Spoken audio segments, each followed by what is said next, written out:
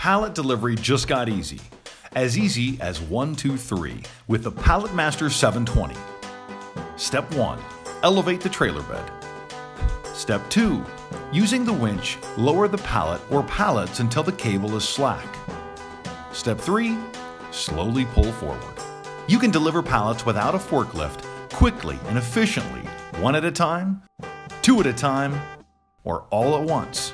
You can deliver to places with uneven ground like farms and ranches, or to remote construction sites where forklifts aren't readily available. The Pallet Master 720. Another great product from Roadwork Ahead and Sage Supply.